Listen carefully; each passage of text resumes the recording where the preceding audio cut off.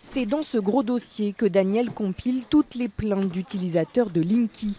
À l'intérieur, des témoignages de personnes sensibles aux ondes émises par le nouveau compteur électrique, Ah, des cas d'incendie déclarés après l'installation ou encore des factures qui augmentent subitement. Alors avec son association de riverains, Daniel refuse d'avoir ce compteur chez lui. Par exemple, des systèmes domotiques qui deviennent fous.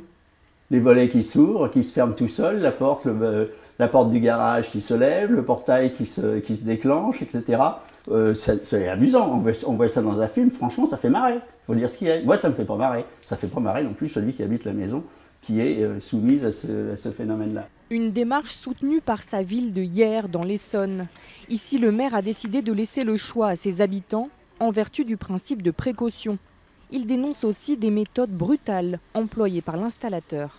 Si le propriétaire a mis un cadenas ou une affiche euh, disant qu'il ne souhaite pas le changement du, du compteur, ne pas tenir compte des affiches, casser le cadenas si besoin, remplacer les compteurs.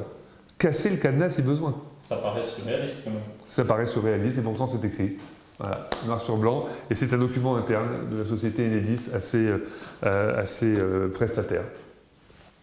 Des pratiques désormais révolues, assure Enedis.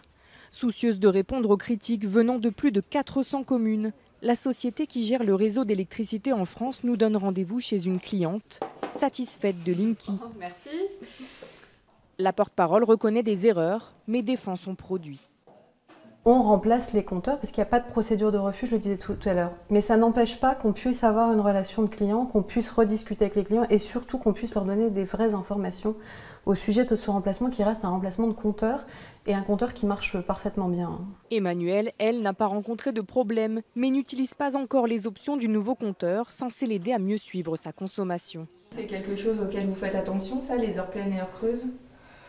Ça peut, mais j'ai du mal à tout comprendre parfois. Donc, euh, mais je, je sais que je m'y suis intéressée une fois et je sais plus exactement pour quelle raison. Seul avantage pour elle, plus besoin de relever ses compteurs. Ces informations sont automatiquement transmises à Enedis tous les soirs. Pour les détracteurs, cette technologie pourrait conduire à une utilisation abusive des données privées.